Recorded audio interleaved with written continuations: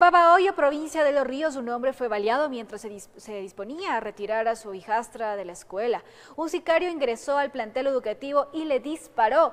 Una de las balas hirió a un estudiante cuyo pronóstico es reservado.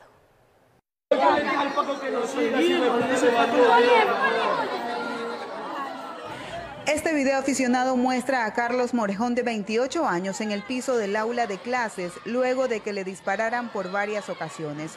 Una de esas balas hirió a un menor de 7 años en su pierna derecha. Rápidamente fue llevado a un centro de salud.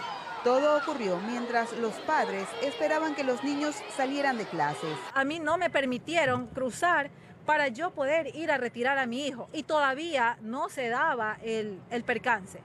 ¿Verdad? Mi instinto de madre tal vez me hacía ver de que no, anda, retira a tu hijo, algo me decía, retíralo, y se los pedí una y otra vez. En los exteriores del plantel ubicado a pocos metros de la morgue general de Babahoyo, decenas de personas se aglomeraron casi incrédulos de lo ocurrido.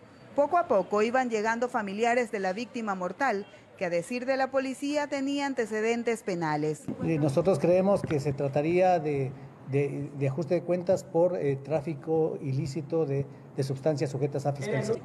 No es justo que lo hayan muerto porque tiene su bebé tiernito, enseñado a andar con su papito en la moto.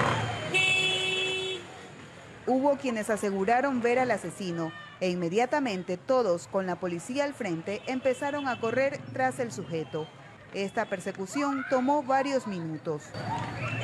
No, no están identificados, estamos buscando toda la información que nos llegue a, buscar los nombres de quienes podrían estar vinculados a este delito. En una clínica privada, el menor fue intervenido quirúrgicamente. En los exteriores, sus allegados aguardaban noticias. Así que les pedimos que por favor nos ayuden a orar por la vía de Axel. Es un pequeño y nadie espera que pase algo así.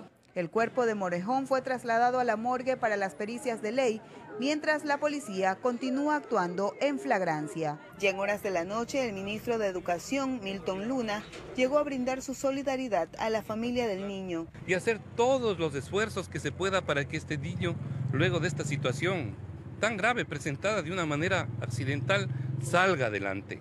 La madre del menor pidió más seguridad, no solo para el plantel, sino también para la ciudad. Porque hoy fue mi hijo. Mi hijo es víctima de la delincuencia que tenemos aquí en la provincia, aquí en nuestro cantón. O sea, nadie le pone un paro a esto. Desde Los Ríos informó Odette Camacho.